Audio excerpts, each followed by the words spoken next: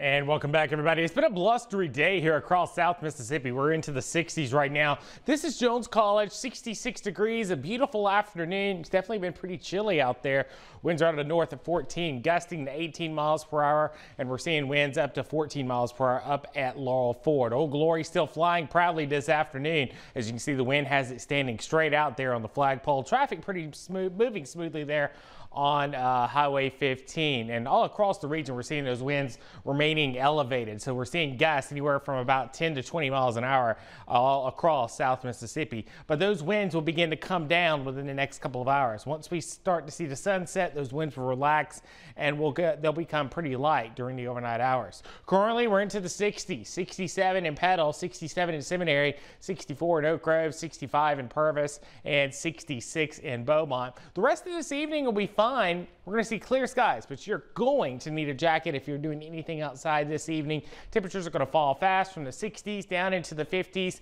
And when you wake up tomorrow morning, we're still talking upper 30s across a good chunk of South Mississippi. So it's definitely going to be pretty cold as we start off your morning. Some of those more outlying areas away from town, more rural areas, especially if you're in like a little bit of a dip or valley, you may get a degree or two colder than what's showing up here on the map, but you get the idea. It's going to be cold. And the last time we had 30s here in South Mississippi, you got to go all the way back to March 29th. That was the last time uh, we observed 30s down in our area. Ironically, that temperature was right around 39 degrees on that morning. But even though we start off cool tomorrow, we quickly warm up. We'll make it back up into the mid 60s by lunchtime, upper 60s to right at 70 degrees for your afternoon high tomorrow. So it's going to be a little bit warmer for your day on Thursday. The winds will be a little bit more relaxed too. And we're going to start to notice that warming trend over the next couple of days. We'll go from the 70s all the way up into the 80s by Sunday. And by next Monday, we're back up into the low 80s. So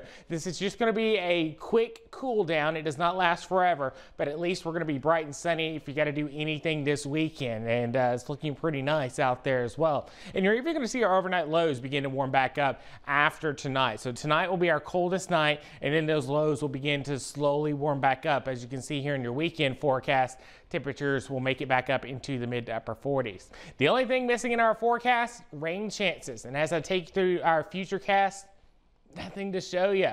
We just stay completely quiet across our area. We begin to warm up a little bit next week as the winds switch and become more southerly but it has really no other impact on our forecast. We're going to stay dry. We're going to stay sunny, not a cloud in sight over the next seven days. So this right here is the quietest that I can tell you our pattern is.